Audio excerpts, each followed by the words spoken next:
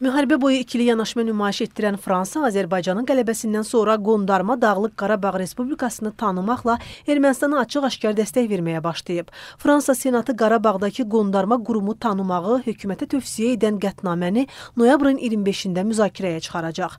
Paris Azərbaycan evinin rəhbəri Mirvari Fətəliyeva bildirdi ki, bunun arxasında erməni lobbisinin dayandığı hər kəsə məlumdur siyasi simalar, istər adi vətəndaşlar, ictimai e, insanlar, e, jurnalistlər e, bu kimi təhdidlərlə tez-tez üz-üzə qalırlar e, və təbii ki, bu da e, Azərbaycanın haqq səsini çatdırmağa e, çatdırmaqda çox böyük maneçiliklər törədir. Lakin bu təhdidlərə baxmayaraq biz öz haqq səsimizi deməkdən e, çəkinməməli və apardığımız mübarizənin haqlı və beynəlxalq qanunlara əsaslandığını hər zaman təkidlə deməliyik və bu istiqamətdə də işimizi davam etdiririk. Əmin edə bilərəm ki, əslində bu siyahıda olan şəxslərin bir çoxu münaqişə haqqında e, heç tam məlumatlı da deyillər e, və erməni lobbisinin təsiri altında və illərlə qurulan münasibətlərin səyi nəticəsində ərsəyə gələn e, bu kimi təşəbbüslər iki dövlət arasındakı olan münasibətlərin tamamilə korlanmasına gətirib çıxara bilər təəssüf ki.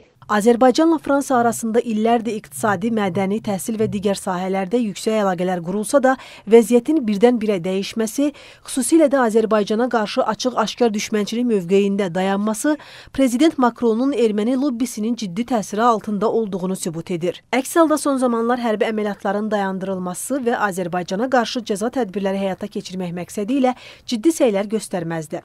Azərbaycan-Fransa parlamentlərarası əlaqələr üzrə işçi qrupunun üzvü, Millət vəkili Razi Nurullayev deyir ki, Fransanın bu addımı beynəlxalq hüquqa ziddir. Çünki ortada Qarabağın Azərbaycanın ayrılmaz hissəsi olduğunu təsdiqləyən müvafiq qətnamələr var.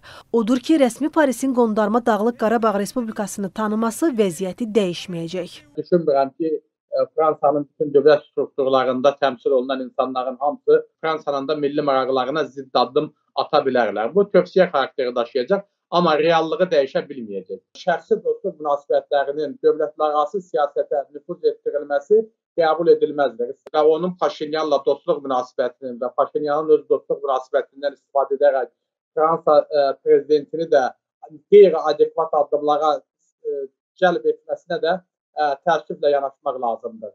Və bu gün bir məsələni də unutmaq olmaz. Əgər Fransa rəhbərliyinin ə, bu və digər şəkildə hər Azərbaycana qarşı hər hansı bir neqativ addımı olacaqsa, Azərbaycanın da buna cavabları var. Üç tərəfli bəyanata kölgə salmağa çalışan Fransa lideri Dağlıq Qarabağın Azərbaycanın ayrılmaz hissəsi olduğunu artıq qəbul etməlidir. Konvensiyaları, beynəlxalq qətnamələri çeynəyib işğalçı ölkəni dəstəkləyən Fransa deyəsən həmsədr ölkə olduğunu da unudur. ATƏT-in Minsk qrupuna həmsədrlik edən ölkə illər ərzində üzərinə düşən öhdəliyi yerinə yetirmək əvəzinə hər zaman ermənipərəst mövqeyi ilə seçilib. Prinsipləri pozaraq işğalçı Ermənistana dəstək verib. Özünü demokratiyanın beşiyi hesab edən Fransa artıq Azərbaycanın və Azərbaycanlıların yaddaşında ikili siyasəti və yaratmaz fəaliyyəti ilə qalıb.